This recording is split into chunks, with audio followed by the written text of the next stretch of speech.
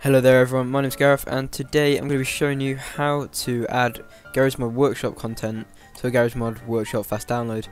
Uh, so first off what you want to do is head over to Steam Community and then where it says Workshop just go ahead and click that. Next click on the Garry's Mod icon here and then you want to find some content that suits what you want to add basically. So for example if I go to items, there's multiple things I could choose from here, and I'm going to go ahead and just install M9K. Go top rated all time, and then I'm just going to install small arms.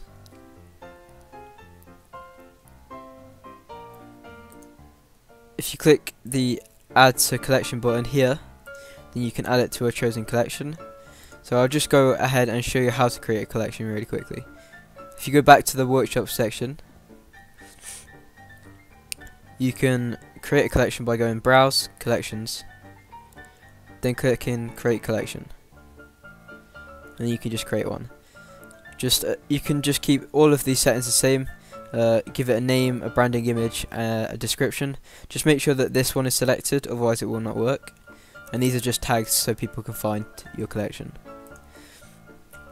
I already have a collection though, so just networks is mine. And I'm going to click OK. So now that's been added to the collection. Um, just, you just want to keep this page open for a second. And what you want to do is go right click, new, text document. Okay, and then if you open up that text document, then you'll have, if I do it with you, here we go text document and just want to call it workshop and then .txt. Open that up. I'm using Notepad++. I definitely recommend it because it allows for flexibility and a lot easier to edit Lua files, uh, JavaScript files. It basically has for support for any sort of code, uh, which is a great way to learn code and also just see like what you're doing. So this, this is why I'd recommend it. It's free to download, just go on the website. I'll leave a link in the description for you. But basically what you want to do is grab this line here. Oh, I've messed up there. If I just copy this and then paste it in here, this is basically adding the resource to the workshop. So what you want to do is go back to the internet and you want to copy the code here it will say something along the lines of id equals and then after the equals just copy that number. You just want to paste that in, in between the two parentheses. Um, I didn't even copy it oh dear. There we go. Copy. And then we'll paste it here. That's done then. What you want to do is just go control control shift F oh that's not working.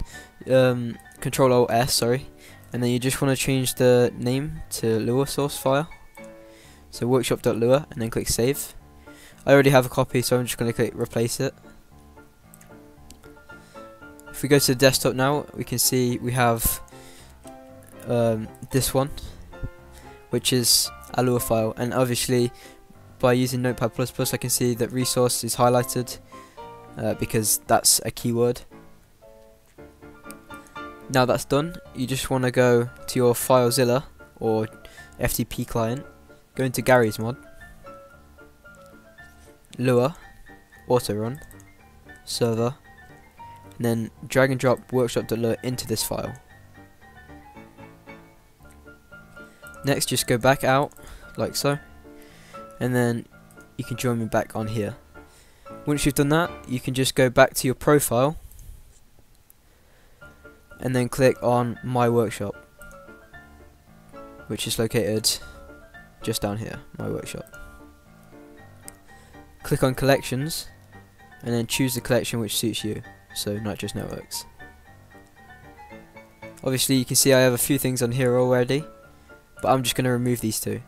You can remove something by going add to collection and then unticking it like so. So we'll just remove those two. And then if we refresh this, we can see M9K Small Arms is available in this collection. Next thing that you want to do is copy this, this ID, go to your client, choose a server that you're working on, go to command line, custom command lines, edit, and then obviously this is on game mode dark roleplay, and then we're just going to have the map on gm underscore construct. You see where it says workshop collection ID, you just want to paste that number that we just copied. Another thing that you need to add is the workshop authentication ID. So what you, you can get that by doing steamcommunity.com uh, slash dev slash API key.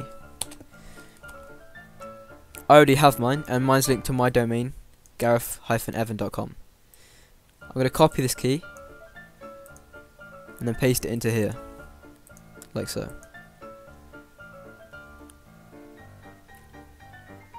Once that's done, the game server will restart and then everything will be added to the workshop fast download.